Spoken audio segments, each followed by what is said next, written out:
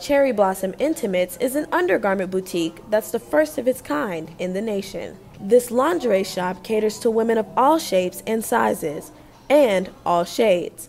It provides medical grade bras and prosthetics for women of color who have undergone mastectomies or double mastectomies as a result of a battle with breast cancer. You know, women that look like you and me can get the things, the necessary things they need, and not have to, you know, walk out feeling insecure into the world because they have like a prosthesis that's white that is not, you know, reflecting who they are as a woman. The Cherry Blossom Intimates aims to provide a more personal touch to bra shopping for all women. That experience can be very rewarding to get a woman into a bra that fits.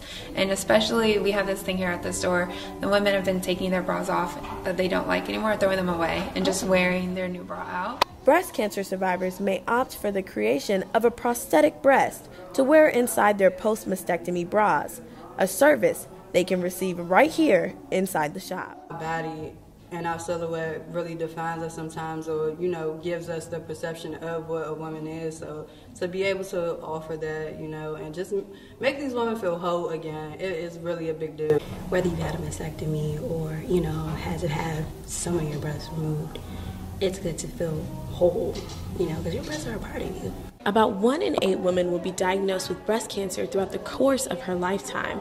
And this year alone, another 270,000 women are anticipated to be diagnosed with new cases of breast cancer. Cherry Blossom Intimates is the first store of its kind in the nation, but hopes to expand to bring a store near you in the future. For Howard University News Vision, my name is Sydney Stallworth.